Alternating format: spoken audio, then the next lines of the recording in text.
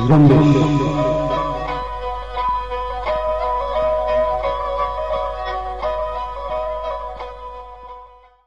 Radio Zrumbesh Urdu کی آواز ہے۔ منگل سات اپریل سال دو ہزار بیس کے نیوز بلیٹن کے ساتھ آپ کا میزبان ہمیرا بلوچ۔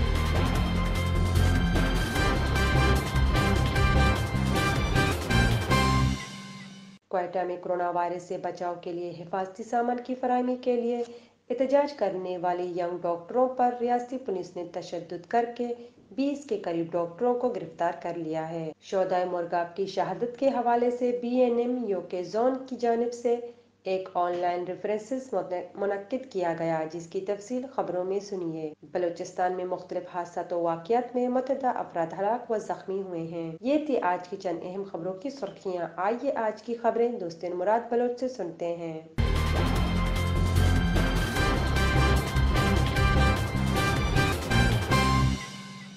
کوئٹہ میں کرونا وائرس سے تحفظ کی کٹ فراہم نہ کرنے پر احتجاجی مظاہرہ کرنے والے درجنوں ڈاکٹروں کو ریاستی پولیس نے گرفتار کیا ہے۔ گرفتار کیے جانے والے ڈاکٹر کرونا وائرس سے تحفظ کے لیے حفاظتی کٹس کی فراہمی کا مطالبہ کر رہے تھے۔ جنہوں نے سول اسپتال سے کٹ پتلی وزیر اعلیٰ بلوچستان کے سیکریٹریٹ تک احتجاجی مارچ کیا۔ اس دوران پولیس اہلکاروں نے مظاہرہ کرنے والے ڈاکٹروں کو احتجاج سے روکتے ہوئے درجنوں ڈاکٹروں کو گرفتار کر لیا اور بعض ڈاکٹروں پر تشدد بھی کیا گیا ہے۔ کوئٹہ کی D I G police Razzaq Cheema نے ڈاکٹروں کی گرفتاری کی تصدیق کرتے ہوئے کہا ہے کہ احتجاج کرنے والے ڈاکٹروں کو کوئٹہ کے متعدد تھانوں میں منتقل کر دیا گیا ہے۔ دوسری طرف ینگ ڈاکٹرز ایسوسی ایشن نے ڈاکٹروں کی گرفتاری پر بلوچستان بھر میں سروسز کے بائیکاٹ کا اعلان کر دیا ہے۔ ینگ ڈاکٹرز ایسوسی ایشن بلوچستان کے رہنماؤں نے مزید کہا ہے کہ جب تک سیکریٹری صحت اور اسپیشل صحت مستعفی نہیں ہوتے، وہ کام نہیں کریں گے۔ ان کا کہنا تھا کہ ہمیں کوئی حفاظتی چیز نہیں دی گئی جس پر احتجاج کرنے پہ ہمارے بیس ساتھیوں کو مارا پیٹا گیا۔ اور تمام بیس لوگ پولیس اسٹیشن میں ہیں۔ بلوچ اسٹوڈنٹ سیکشن کمیٹی کے چیئرمین ڈاکٹر نواب بلوچ نے ینگ ڈاکٹرز پر ریاستی پولیس کی طرف سے تشدد پر کہا ہے کہ بلوچستان حکومت فوری طور پر ڈاکٹروں کو رہا کرے۔ یہ ایک پریشان کن بات ہے کہ حکومت ڈاکٹروں کو سہولیات فراہم کرنے کے بجائے انہیں گرفتار کر رہی ہے۔ ڈاکٹر نواب بلوچ کا مزید کہنا تھا کہ اگر حکومت سہولیات فراہم نہیں کر سکتی تو عوام کے سامنے اپنی ناکامی کا اظہار کرے نیشنل پارٹی کے رہنما حاصل بزنجو نے ڈاکٹروں پر ہونے والے تشدد کی مذمت کرتے ہوئے کہا ہے کہ ڈاکٹروں کا کردار آج جتنا اہمیت رکھتا ہے کبھی ایسا نہیں رہا ہے۔ بجائے انہیں عزت دینے کے جنہوں نے اپنی جانوں کو ہمارے لیے خطرے میں ڈال دیا ہے، بلوچستان حکومت نے انہیں گرفتار کرنے کا راستہ اختیار کیا ہے۔ حاصل بیزنجو نے ڈاکٹروں کی فوری رہائی کا مطالبہ کیا ہے۔ بلوچ نیشنل موومنٹ کے مرکزی ترجمان نے کہا ہے کہ شہدائے مرگاب کی گیارہویں برسی کی مناسبت سے پارٹی پروگراموں کا آغاز ہو چکا ہے، جس کے سلسلے میں B N M U K zone کے زیر اہتمام ایک آن لائن ریفرنس منعقد کیا گیا، جس کی صدارت بی این ایم یو کے کے زونل صدر حکیم بلوچ نے کی۔ مہمان خاص B N M diaspora committee کے ڈپٹی آرگنائزر حسن دوست بلوچ تھے۔ ریفرنس میں عہدیداروں اور کارکنوں نے بڑی تعداد میں شرکت کی۔ اجلاس کے آغاز میں شہدائے مرگاپ اور دنیا کے تمام شہداء کی یاد میں دو منٹ کی خاموشی اختیار کی گئی۔ مقررین نے ریفرنس سے خطاب کرتے ہوئے شہدائے مرگاپ اور دنیا کے ان تمام شہداء کو سلام پیش کی، جنہوں نے اپنے قوم اور وطن کی روشن صبح کے لیے اپنی جانوں کی قربانیاں پیش کی ہیں۔ ریفرنس سے خطاب کرتے ہوئے مقرر نے کہا کہ شہید غلام محمد بلوچ ایک ایماندار صاف گو مدبر اور دور اندیش سیاسی رہنما تھے۔ ان کی شہادت کے بعد ایک بڑی خلا پیدا ہوئی۔ تاہم شہید غلام محمد بلوچ لالہ منیر بلوچ اور شہید شیر محمد بلوچ نے دشمن کی اذیت خانوں میں اذیت سہتے ہوئے دشمن کو یہ دکھایا کہ ہماری جانون سے زیادہ ہمیں اپنا وطن اور قوم عزیز ہے۔ مقررین نے آخر میں کہا کہ آج کا دن ہمیں یہ احساس دلاتا ہے کہ ہم اپنی کمزوریوں اور کوتاہیوں پر نظر ثانی کرتے ہوئے شہداء کی دی گئی فلسفے کے تحت آزاد وطن کی قیام کے لیے اپنا سب کچھ قربان کرتے ہوئے شہداء کے ارمان کو پورا کریں۔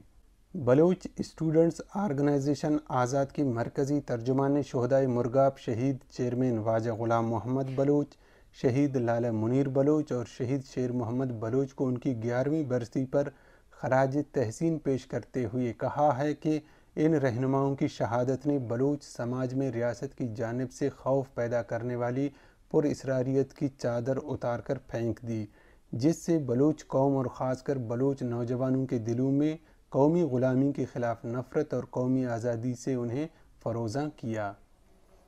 بی ایس او آزاد کے ترجمان نے اپنے بیان کے آخر میں کہا ہے کہ شہدائے مرگاب کی جد و جہد اور شہادت آج ہم سے تقاضا کرتا ہے کہ ہم لفاظیت کے خول سے نکل کر عملی اور علمی بنیادوں پر انقلاب کا حصہ بنے اور آزادی کے سفر کو منزل مقصود تک پہنچانے کے لیے اپنا کردار ادا کریں۔ پہمر سنڑی میں عادل پور تھانے کے حد درویش موری کے قریب ایک موٹر سائیکل بارودی سرنگ سے ٹکرا گئی ہے۔ بارودی سرنگ دھماکے کے نتیجے میں تین افراد شدید زخمی ہوئے ہیں۔ کوئٹہ میں ایئرپورٹ روڈ پر عالم و چوک سے پولیس نے ایک نامعلوم شخص کی لاش برآمد کی ہے۔ لاش شناخت کے لیے ہسپتال منتقل کر دی گئی ہے۔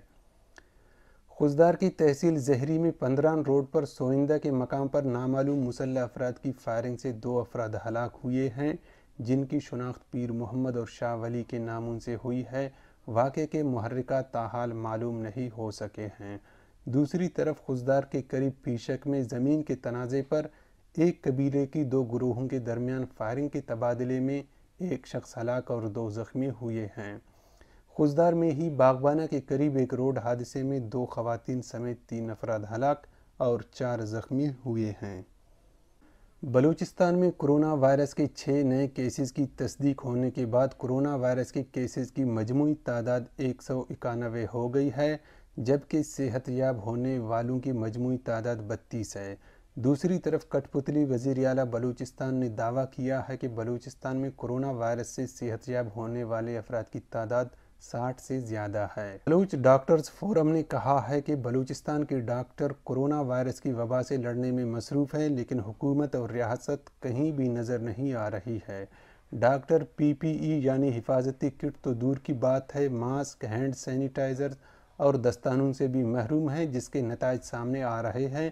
اور کرونا وائرس سے متاثرہ ڈاکٹروں کی تعداد میں مسلسل اضافہ ہوتا جا رہا ہے۔ افغان حکومت کی درخواست پر پاکستان نے تورخم اور چمن بارڈر افغان مہاجرین کی واپسی کے لیے کھول دی ہے۔ دونوں بارڈر تین روز تک کھلے رہیں گے، جس کے بعد پاکستان میں موجود افغان شہریوں کی نو اپریل تک واپسی جاری رہے گی۔ بلوچستان اسمبلی میں اپوزیشن جماعتوں کے انیس اراکین نے اسمبلی اجلاس بلانے کی ریکوزیشن جمع کروا دی ہے۔ ریکوزیشن میں پانچ نکاتی ایجنڈے پر بحث کرنے کی تجویز دی گئی ہے۔ واضح رہے اس سے قبل اسپیکر کے نام دی گئی ایک ریکوزیشن کو سیکریٹری اسمبلی نے قانونی اعتراضات کی بنا پر مسترد کر دیا تھا۔ محکمہ معدنیات بلوچستان نے ایک اعلامیہ کے تحت بلوچستان کی مختلف معدنیات پر عائد فیس، رینٹ اور رائلٹی کی مد میں اضافے کا نوٹیفیکیشن جو تین مارچ دو ہزار بیس کو جاری کیا گیا تھا، فوری طور پر معطل کرتے ہوئے اس پر تیس جون دو ہزار بیس تک عمل درآمد روک دیا ہے۔ یہ اقدام کرونا وائرس کے پھیلاؤ کے روک تھام کے لیے کیے جانے والے لاک ڈاؤن سے معدنی پیداوار میں ہونے والی کمی کے باعث اٹھایا گیا ہے۔ بندوبستی پاکستان خیبر پختونخوا میں اتوار کی روز محمد ایجنسی کی تحصیل صافی کے علاقے جنڈا میں پاکستانی فوج اور طالبان جنگجوں کے مابین خونریز جھڑپ ہوئی ہے۔ ٹرائبل نیوز کے مطابق شدت پسندوں کی طرف سے یہ حملہ اس وقت کیا گیا جب انہیں پاکستانی فوج کی ایک گشتی پارٹی کی اطلاع ملی۔ جھڑپ میں ایک پاکستانی فوجی اہلکار ہلاک اور دو زخمی ہوئے ہیں۔ جبکہ طالبان کا ایک جنگجو بھی مارا گیا ہے۔ پاکستان میں کرونا وائرس سے متاثرہ افراد کی تعداد تین ہزار چھ سو پچاس سے بڑھ گئی ہے، جبکہ اٹھارہ سو سے زیادہ متاثرین کے ساتھ پاکستان کا سب سے بڑا صوبہ پنجاب سب سے زیادہ متاثرہ صوبہ ہے۔ پاکستان میں ہلاکتوں کی تعداد باون ہے، جبکہ تین سو ستاسی افراد صحت یاب ہوئے ہیں۔ ہلاک شدگان میں پندرہ کا تعلق پنجاب، ست سترہ کا تعلق سندھ، سولہ کا خیبر پختونخوا اور تین کا تعلق گلگت بلتستان سے ہے۔ پاکستان کی صوبہ پنجاب کے حکومت نے چھٹیوں کے دوران صوبہ بھر کے تمام اسکولوں میں فیس، بیس فیصد کم کرنے کا فیصلہ کیا ہے۔ وزیر اعلیٰ پنجاب عثمان بزدار نے ٹویٹر کے ذریعے بتایا ہے کہ ہم نے فیصلہ کیا ہے کہ چھٹیوں کے دوران پنجاب کے تمام اسکولوں کی فیس بیس فیصد کم اور صرف ماہانہ بنیاد پر وصول کی جائے گی۔ پنجاب حکومت نے پنجاب میں کرونا وائرس پر قابو پانے کے لیے جاری لاک ڈاؤن میں چودہ اپریل تک کی توسیع کر دی ہے۔ محکمہ داخلہ پنجاب کی جانب سے جاری کردہ نوٹیفیکیشن کے مطابق کرونا وائرس کے پھیلاؤ کے پیش نظر پنجاب میں لاک ڈاؤن چودہ اپریل تک بڑھایا گیا ہے۔ افغان طالبان نے کہا ہے کہ امریکہ اور اس کے اتحادی رواں سال فروری میں امریکہ اور طالبان کے درمیان طے پانے والے معاہدے کی خلاف ورزی کا مرتکب ہو رہے ہیں۔ طالبان کی ترجمان زبی اللہ مجاہد نے اتوار کو ٹویٹر پر ایک بیان میں کہا ہے کہ امریکہ طالبان معاہدے کے تحت پانچ ہزار قیدیوں کی رہائی ہونی تھی، لیکن ان کے بقول مختلف بہانوں کی وجہ سے طالبان قیدیوں کی رہائی میں تاخیر ہو رہی ہے۔ دوسری طرف امریکہ نے طالبان کے اس دعوے کو بے بنیاد قرار دیتے ہوئے کہا ہے کہ امریکہ معاہدے کی پابندی کر رہا ہے۔ کولمبیا میں کوئلے کی ایک کان میں دھماکہ ہوا ہے، جس کے نتیجے میں گیارہ افراد ہلاک اور چھ زخمی ہوئے ہیں۔ کولمبیا کی نیشنل مائننگ ایجنسی نے دھماکے کی تحقیقات شروع کر دی ہے۔ یاد رہے، کولمبیا میں تین روز کے دوران یہ کوئلہ کان میں دھماکے کا دوسرا واقعہ ہے۔ سعودی عرب کی حکومت کی ایک ذرائع نے خبر دی ہے کہ تیل پیدا کرنے والے ممالک کی نمائندہ تنظیم اوپیک پلس کا اجلاس آئندہ جمعرات کو سعودی عرب کی میزبانی میں ہوگا تاہم یہ اجلاس ویڈیو کانفرنس کی شکل میں منعقد کی جائے گی۔ اوپیک پلس اجلاس میں تیل کی پیداوار میں کمی سے متعلق ممکنہ فیصلے کا انتظار کیا جائے گا۔ کرونا وائرس سے دنیا بھر میں ہلاکتوں کی تعداد اکہتر ہزار پانچ سو کے قریب پہنچ گئی ہے، جبکہ متاثرین کی تعداد تیرہ لاکھ ہو گئی ہے۔ دوسری طرف یورپ میں کرونا وائرس سے ہونے والی اموات پچاس ہزار سے تجاوز کر گئی ہیں۔ اٹلی، اسپین، فرانس اور برطانیہ میں سب سے زیادہ اموات ریکارڈ ہوئی ہیں۔ یورپ بھر میں کرونا وائرس کے چھ لاکھ پچہتر ہزار سے زائد کیسز رپورٹ ہوئے ہیں۔ اٹلی میں پندرہ ہزار آٹھ سو ستتر، اسپین میں تیرہ ہزار سے زائد اموات ہوئی ہیں، جبکہ فرانس میں آٹھ ہزار اور برطانیہ میں چار ہزار سے زائد افراد اس وائرس سے ہلاک ہو گئے ہیں۔ فلپائن میں ایک شخص کو کرونا وائرس کے پھیلاؤ کو روکنے کے لیے مکمل لاک ڈاؤن کے دوران پولیس افسران کو مشتعل کرنے اور ماسک نہ پہننے پر گولی مار دی گئی ہے۔ امریکی صدر کے مشیر صحت ڈاکٹر فاؤچی نے خدشہ ظاہر کیا ہے کہ امریکہ میں کرونا وبا موسمی نوعیت اختیار کر سکتی ہے اور رواں برس کرونا وائرس کا مکمل خاتمہ ممکن نہیں ہے۔ جس کا مطلب یہ ہے کہ زکام کے اگلے موسم میں یہ وبا امریکہ میں ایک بار پھر سر اٹھا سکتی ہے۔ بھارت کے با اثر ترین یوگا گرو رہنما سوامی رام دیو نے کہا ہے کہ چین نے ہی دنیا بھر میں محلک وبا کرونا وائرس کو پھیلایا ہے۔ رام دیو نے عالمی برادری سے مطالبہ کیا ہے کہ وہ چین کا بائیکاٹ کرے۔